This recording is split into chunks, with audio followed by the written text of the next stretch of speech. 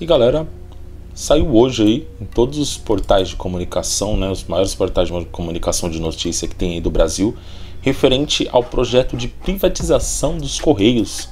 Já foi encaminhada a proposta para o Planalto e a intenção é dela ser vendida até o final de 2021. Será que isso realmente vai ser bom, galera? Será que vai melhorar o serviço nos Correios? Segue no vídeo.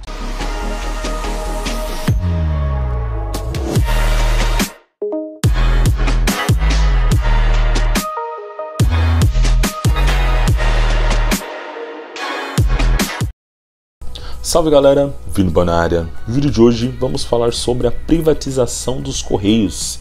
Saiu hoje a notícia aí nos maiores portais de comunicação que temos aí no Brasil, referente a notícias sobre a privatização dos Correios. Então já foi aprovado o projeto de privatização dos Correios, já foi encaminhado ao Planalto e tem a intenção, galera, nessa proposta aí de vender os Correios até o final de 2021, tá? Então eu dei uma lida em alguns portais, tanto no UOL quanto no G1 e outros, tá? Eu acho até meio vergonhoso, galera, porque olha desde quando foi lançado os Correios. 1969, então a empresa tem 51 anos para chegar nessa situação. Já passou por escândalos de corrupção, tem dívidas né, de, de bilhões de reais aí que está devendo. Então, assim, é uma situação realmente incômoda, galera. É de ficar chateado, de ficar triste, né? De, de uma empresa do tamanho desse porte ter tido todo esse tipo de problema, uma má administração, ter tido problemas de corrupção. E o governo está anunciando, galera, pelo que eu li aí nos sites, no valor de 15 bilhões que quer anunciar os Correios, valor de 15 bilhões. Só que aconteceu uma coisa engraçada, eu fiquei vendo aí nos portais de notícias. O presidente lá, o Marco César Alves, ele anunciou pelo valor de 60 bilhões de reais. De reais não, perdão, 60 bilhões de dólares.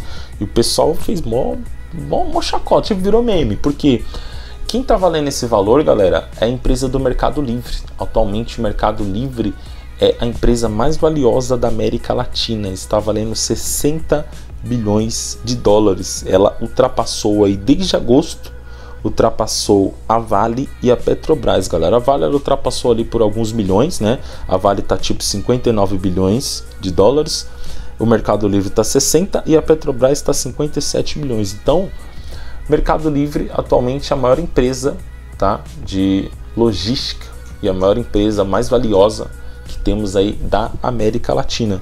E ele anunciou esse valor. O vice-presidente do, do, dos Correios anunciou esse valor.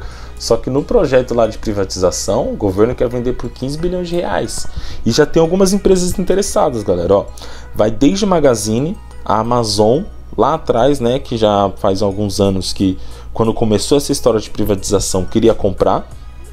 A FedEx e a DHL, que são também empresas de logística, só que uh, de outros países. E até o AliExpress já se mostrou interessado em fazer a compra dos Correios.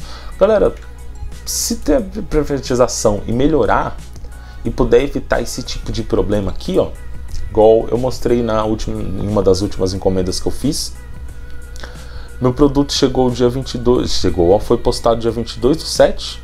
A última autenticação, né, a última notificação no caso foi dia 9 do 9. Objeto não chegou na unidade e desde então eu não tenho informações. Tem, então beleza. Eu falei que abri a reclamação. Vim aqui no Fale Conosco, dos Correios, objeto postado internacionalmente. Fiz a reclamação, olha o que, que aparece. Prezado cliente, o objeto informado não encontra na base de dados do sistema de rastreamento de objetos. Por mais detalhes, entre em contato com o CAC, Central de Atendimento dos Correios. Ah, eu não entendo porque aqui eu consigo ver o rastreamento. Quando eu vou abrir a reclamação, fala que não, não acho. Então vou amanhã, né? Hoje não está funcionando nesse horário eu vou amanhã entrar no chat e ver o que, que eles vão me passar. Eu vou ver se eu consigo gravar para ver o que, que eles vão informar para mim. Se vocês verem aqui, ó, ó desde quando está meu pedido. Ó, dois meses e três semanas. Eu já abri uma disputa no AliExpress pedindo reembolso, o produto não chegou. Fico chateado porque imagina, galera, você na situação de estar tá comprando uma placa de vídeo custando aí 600, 500 reais, ou tá comprando uma placa mãe custando 400, 500 reais comprando um processador de 700 reais, aí você comprar um Ryzen que sai mais em conta, comprar um Ryzen 5 3600, Ryzen 5 3500 que sai mais em conta lá, sua encomenda sumir. O meu custou 22 reais, eu já estou chateado pelo produto não ter chegado. Você compra e você quer que o produto chegue. Você compra lá da China, o produto chega aqui no Brasil rápido. Né? Algumas encomendas chegam um dia, dois dias, três dias, uma semana, algumas chegam um mês quando é mais longo, né? igual aconteceu aqui, ó. Chegou um mês, mas chega no Brasil. No Brasil tinha que ser muito mais rápido, galera. 10 dias, 5 dias, dependendo do lugar que tá. Então imagina acontecer contigo num valor mais alto, tá? Então, galera, se for para evitar esse tipo de problema, essa demora, né, essa desorganização que tem, eu super aprovo, né, que seja super bem-vinda aí a privatização. Os locais que já atendem bem, que eu sei que tem locais que atendem, continuam, né?